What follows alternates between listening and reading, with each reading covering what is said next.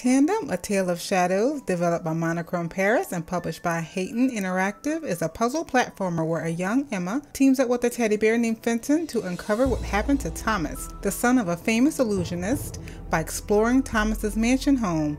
Is this a game for you? I'm Jurnee of the Indie Jurnee, and here are some reasons you might want to play and some that might make you decide to pass. Play. The atmosphere is what struck me almost immediately.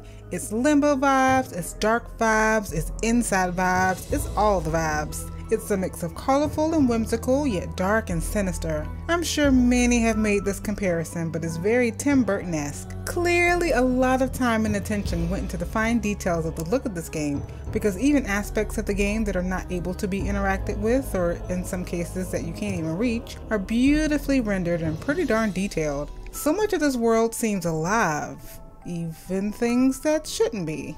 But I very much enjoyed this post-Victorian steampunk clock punk style aesthetic, and the music is a fantastic addition to the ambiance. Every chapter has a signature music across its levels, and the music really adds a sense of unease and reminds you that this home is not a safe place. The sound design is pretty impressive and immersive. Everything from Emma's footsteps to the creaking, groaning, or squelching of obstacles, or the sound that Fenton makes when he jumps on a button are very well done. Pass. Although a lot of love went into the look of the game, the story itself doesn't feel as fleshed out as it could be, and what you learn up front is thrown at you pretty fast. In fact, the game barely boots up before the opening scene kicks in and Emma and Fenton rush off to Thomas's mansion in a race against the clock. So if you're in a mindset of wading through a couple of title cards and going through the settings leisurely before pressing play, a few key points of the narration just might pass you by. However, the saving grace is that the opening cutscene repeats every time you log in, so you can hear it again and again if you need to, but it's also skippable if you don't. Play. The gameplay was quite engaging. You play as both Emma and Fenton to solve environmental puzzles to clear each stage. Each chapter has about 8 to 11 levels and is themed around a particular room of the mansion, such as the boiler room, the kitchen, or the garden. Emma is played from a top-down perspective and she is able to manipulate objects in order to cast shadows to allow Fenton, who walks on the wall in a 2D side-scrolling manner, to move from place to place. This was a brilliant touch, but be sure to remain aware of where each character is within their respective space.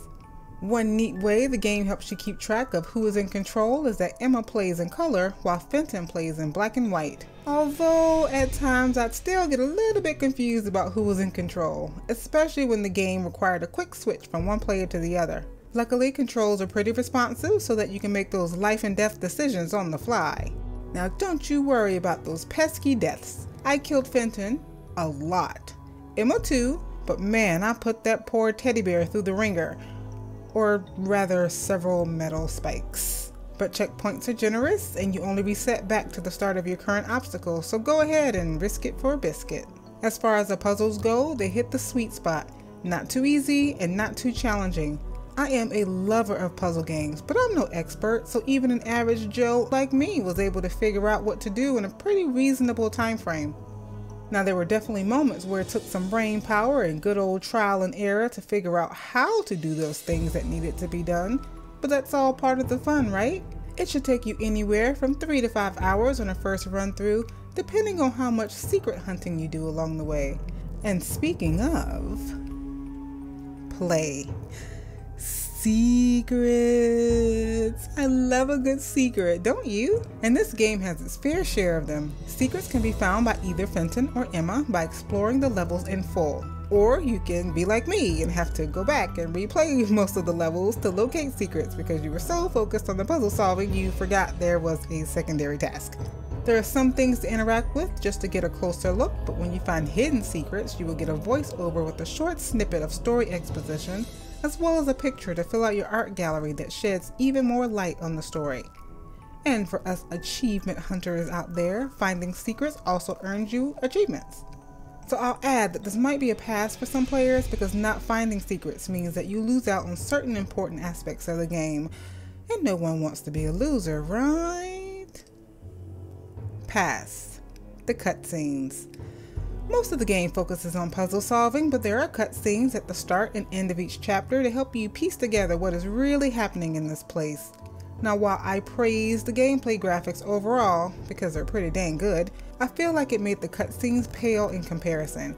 Usually cutscenes feel more clean and polished than the gameplay since they are so important to helping tie the story together, but I actually felt like the game itself was more polished than many of the cutscenes, and I do really think that the narration really didn't do enough to support the game's plot. I felt this was particularly important in Emma's case as this is the only time we really get to see or hear her, since her gameplay is the most top-downest of the top-down style there could be. It made her feel stiff and wooden and was kinda hard to connect with her as a character. But that's just being really nitpicky. Who really passes on a game just because of the cutscenes? I just felt the need to point that out. Play. The enemies and obstacles. The developers took great care in making the threats in the game consistent with your environment. In the kitchen, dodge some gas burners. In the boiler room, navigate toxic sludge. I loved all of these cool critters and creatures and interesting ways of navigating these levels. And even some enemies and obstacles were more challenging than they appeared, and you had to strategize accordingly. Love that. So, what do you think? Is this one to play or one you might pass on? I'd like to take a moment to thank the developers and publishers for providing me a Steam key for this game so that I may experience this mysterious adventure. Be sure to let me know if you enjoyed this by leaving a like. I'm Jurnee from the Indie Jurnee. Thank you, and I'm out.